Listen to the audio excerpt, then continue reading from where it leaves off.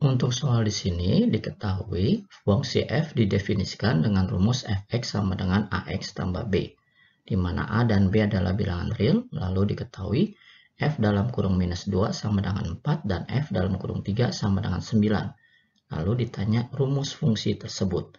Sehingga di sini kalau kita tuliskan rumus fungsi dasarnya f dalam kurung x sama dengan ax tambah b.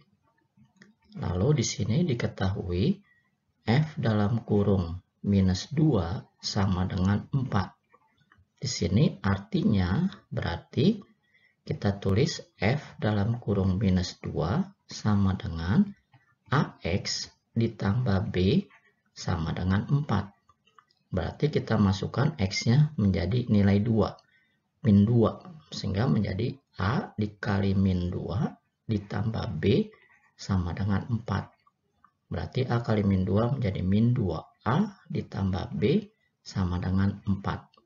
Lalu yang kemudian diketahui juga F dalam kurung 3 sama dengan 9. Sehingga di sini artinya adalah F dalam kurung 3 F dalam kurung 3 sama dengan AX ditambah B sama dengan 9. Berarti X-nya kita ganti menjadi angka 3. Menjadi A dikali 3 ditambah B sama dengan 9.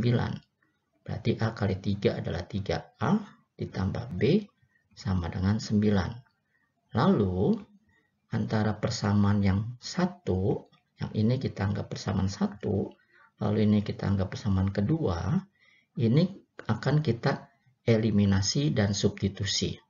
Sehingga kita lanjutkan di sini menjadi minus 2A ditambah B sama dengan 4. Kita susun ke bawah dengan 3A ditambah B sama dengan 9.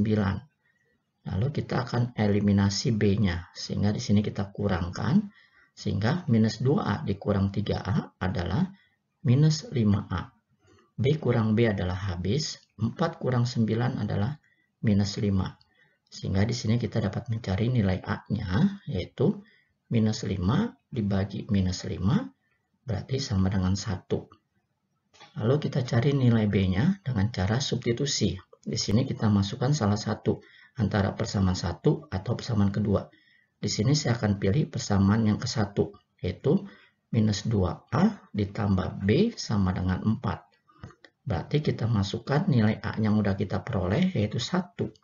Berarti minus 2 dikali 1 tambah B sama dengan 4. Minus 2 dikali 1 adalah minus 2 ditambah B sama dengan 4. Berarti kita bisa cari B-nya. Berarti 4 tambah 2. Berarti B-nya di sini kita dapat adalah 6.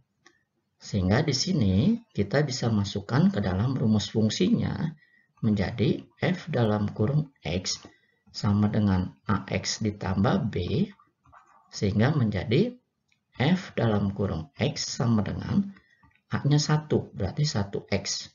Tambah B-nya adalah 6, berarti tambah 6. Atau menjadi Fx sama dengan X tambah 6. Berarti ini adalah jawabannya. Rumus fungsinya adalah Fx sama dengan X tambah 6. Berarti adalah jawaban pilihan ganda yang Sampai ketemu pada soal yang berikutnya.